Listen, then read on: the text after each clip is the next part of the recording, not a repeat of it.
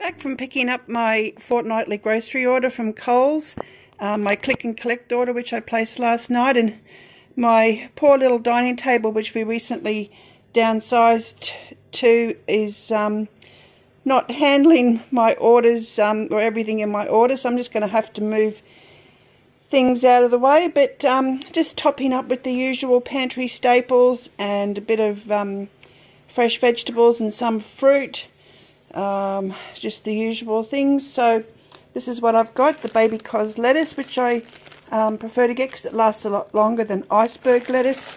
Some cherry tomatoes for salad, red capsicum.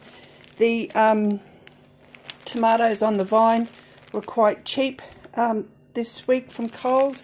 I got a whole sugarloaf cabbage and it's absolutely huge. It's um, the size of a um, normal cabbage. It's so heavy um, so I'm going to be making a lot of coleslaws and using cabbage in meals. Um, I've got potatoes, they were the cheapest ones.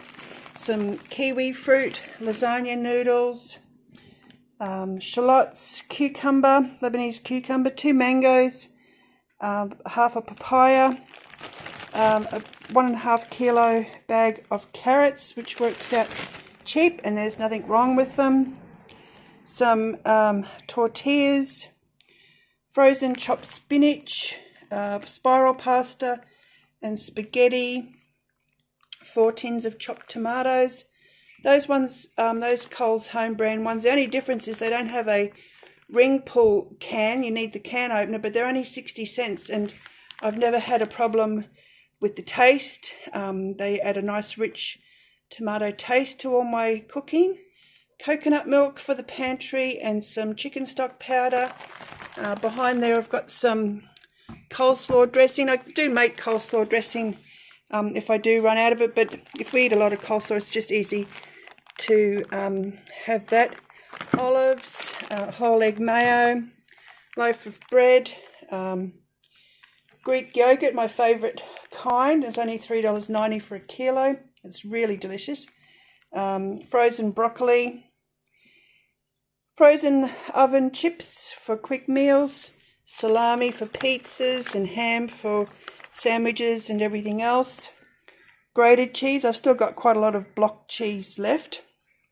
Um, the toilet paper I buy, um, chicken legs.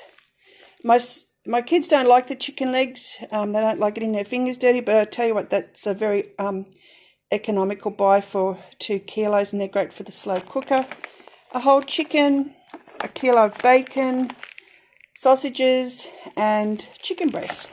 And this whole lot came to about $130. And remember, my budget is $150 for the fortnight.